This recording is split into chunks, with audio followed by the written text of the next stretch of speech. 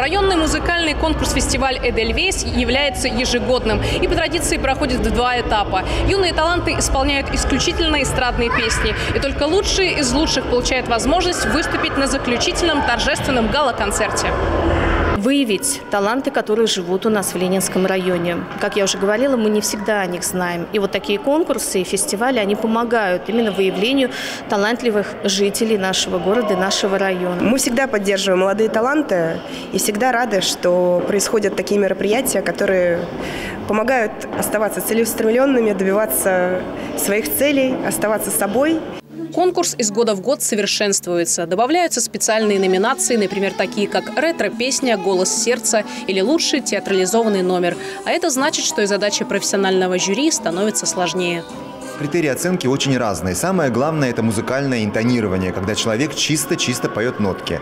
А, э, э, немаловажный критерий оценки, когда человек проявляет себя как артист. Не только мимика должна использоваться в номере, но и какие-то сценические движения, актерское мастерство – самое главное. Ну и э, тоже немаловажный факт – это дикция. Самое правильное – петь на русском языке и доносить слова, доносить свою речь. Вот эти, наверное, самые главные критерии оценки, Артисты от 6 до 25 лет приехали в районный центр культуры и досуга, чтобы покорить своим творчеством жюри и попороться за призовые места. Конечно, перед выходом на сцену все без исключения испытывали волнение.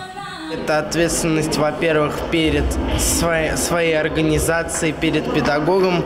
И, конечно, я же должен понравиться членам жюри, и чтобы они, спеть достойно, чтобы они меня высоко оценили.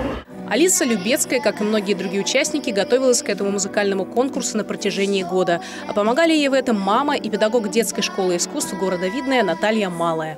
Я, получается, готовлюсь э, с начала года, и просто учитель подбирал мне песню, которая мне больше будет подходить. Мы учили там движение, песню, разбирали там по тексту, что-то там э, добавляли свое. Костюм мы с мамой подбирали. А Ксения Королюк решила удивить жюри своим выбором репертуара. Она проникновенно исполнила песню военных лет.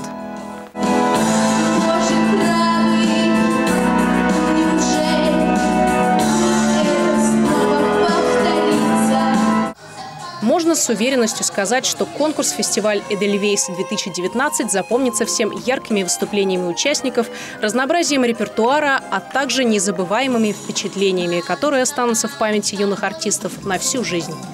Анастасия Воронина, Константин Брылов, Елена Кошелева. Видно этого.